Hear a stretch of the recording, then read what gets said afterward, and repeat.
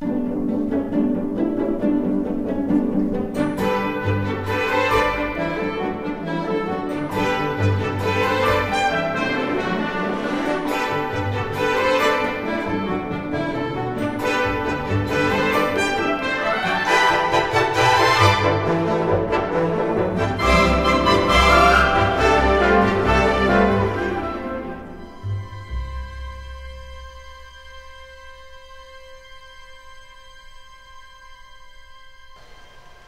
Welcome to Eye on Plainsboro. My name is Anthony Cancro, Township Administrator for Plainsboro. Today I'm joined with Les Varga, Director of Planning and Zoning. We're on site today for an approved project, residential project, and I'm going to be talking to the two principals of the company. But first I'm going to be talking to Les Varga. Les, tell us a little bit where we are located physically right now. Well, right now we're at the very edge of the redevelopment area that the hospital did when they actually purchased the property from FMC oh, about 10 or 11 years ago right now. That property was broken up into various different uses. Right now we're standing on a parcel that is dedicated for an adult retirement community and as you mentioned there's an approved project for that uh, right now. And, and the size of the property approximately? About 38 acres. Okay. And as you said, this is part of the redevelopment area. Right. Tell us a little bit about the concept of a redevelopment area and, and how this fits into that. When Princeton Healthcare originally purchased the property from FMC, in 2008, a redevelopment plan was approved by the planning board and the governing body, which essentially carved up the property on about 160 acres into various uses for the hospital, for an adult retirement community, for uh, adult daycare centers, for the area that's currently occupied by the Children's Hospital of Pennsylvania, and then the other area for the Merwick uh, Assisted Living Facility. So this is the 38 acres that's strictly dedicated for residential, which will be an adult retirement community. A project like this has to have certain approvals. Can you talk to me about the approvals that the township had to provide? Sure. The planning board is actually the agency that approves the project. The good news, though, is really that the redevelopment plan really set the stage in terms of the bulk, the density, all the setback requirements, the parking requirements, and even the architecture for the, for the site. So it was really just a matter of the planning board giving a, a look at the project in terms of the architecture and the ultimate development. All the utilities are on site, so it was pretty much just a perfunctory review, mm -hmm. assuming that everything within the redevelopment plan was adhered to, in which case it was. Were there any uh, conditions put on the development at all? Well, like any project, there are, there are certain conditions that need to be met in terms of the actual height of the building, uh, the dimensions of the parking areas, the amount of parking, where that is located, the uh, screening from Plainsboro Road. Signage is also uh, usually a big issue, um, as well as the actual parking count mm -hmm. and in terms of uh, handicap spaces.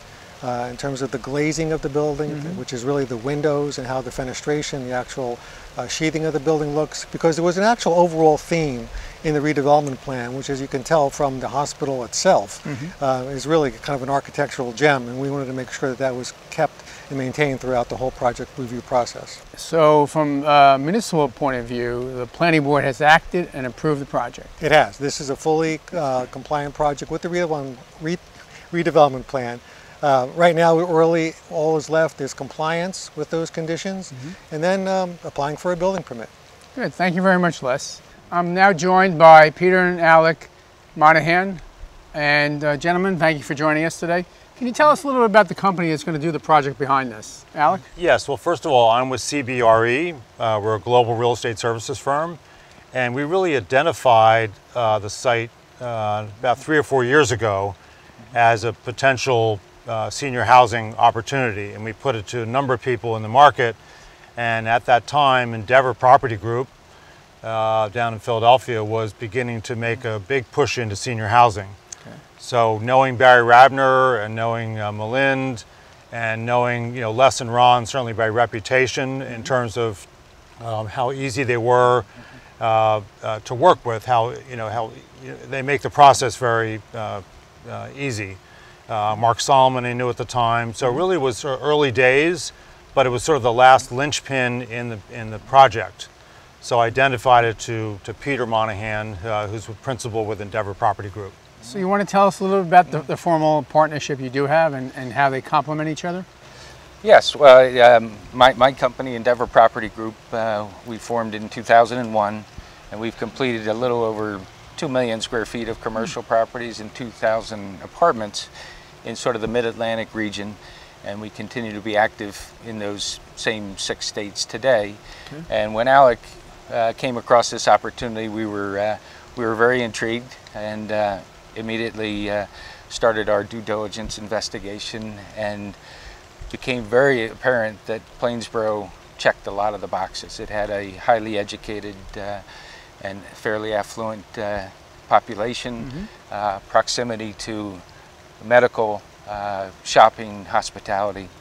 So it had had all the features, attributes that we look for, and then uh, what we really liked was the master plan that had been approved some years before we got involved. Uh, a terrific vision, I think, both on the part of the township and, and Barry Rabner, the CEO of, of Princeton Healthcare, to uh, create a lot of symbiotic uses. Uh, and there, we're going to be joining Merwick, who's here, Children's Hospital, Maplewood from Westport, Connecticut, all sort of what we consider best of class in, Okay. in the different, different disciplines. So we're, we're very excited to be here. So I, I know the planning board did their due diligence and uh, approved it. Uh, why don't you give us some detail of the project? I know it's residential. I know it's about 305 units, but why don't you talk about the mix and, and how you see that fitting into this area and how the rest of the area complements the project? Sure. Our, our, the, our project is going to be independent living. Uh, our typical entrance age is in the late 70s, early 80s, uh, but independent individuals, so sort of the first stage in, in the continuum of, of senior care. Uh, and we have a combination of 45 townhouses uh, and 200, 260 apartments, a four-story uh, apartment building. It'll have tremendous amenities, several uh, dining options from a bistro to full uh, white tablecloth dining, uh, fitness center, indoor pool, movie theater. Really a terrific uh, environment. And Uh, talk about the townhouses being a for sale product. Yep, townhouses will be for sale. The entire project is age restricted, 55 and above. You know the approximate square footage of apartment plus or minus and, and townhomes? Apartments range from a small studio of maybe 500 uh, to a larger one, or two bedroom might be 1,100 square feet, probably averaging around 900 square feet. Okay. And the townhouses are uh, a little over 2,000 square feet, uh, three bedrooms. Okay. So this might be the step when somebody sells their house because their children have gone on to live somewhere else.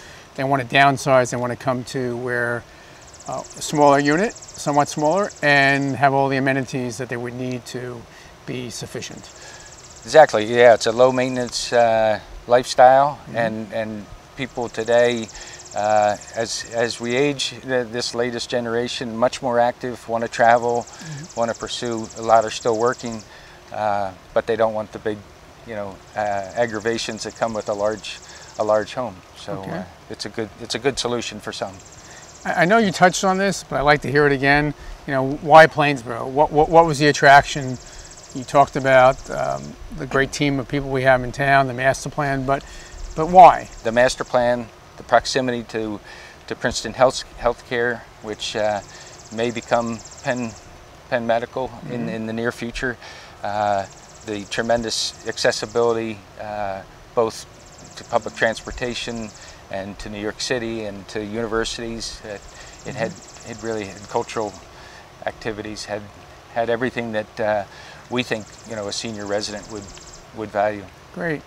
And in a perfect world, when would you guess we might have a, a groundbreaking? And then, in a perfect world, how many months or years after that, maybe a ribbon cutting?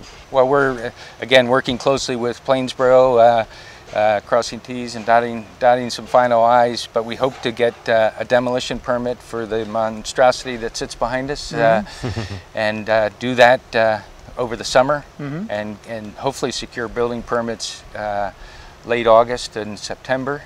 And then uh, we anticipate about an 18 month construction period. Okay. So that should bring us into the spring of 2019 when we'll have a, a grand opening. And you see it as a complete project, not phased. It's going to be everything will be done whenever it's done in, in 2019. Yes, the, the apartment building will be, be built in one time. Okay. The uh, townhouses will built uh, will be phased as as they sell. I see. Uh, likely completed by that same time. Okay. Is there anything you want to leave our, our audience with, either one of you, as far as the project or uh, going forward? Just just uh, just a just a thanks to Plainsboro. We we we work in a number of municipalities in in those same six states, and uh, uh, while Plainsboro is has rigid, you know, strict guidelines, uh, we found the staff to be tremendous and helpful, and our professional team worked well with the staff, and and it was it was a, it was a nice outcome for us. Great, thank you. Thank you, Alec. Thanks, Thank you, Peter. Thank you. Thank you for joining us on Eye on Plainsboro.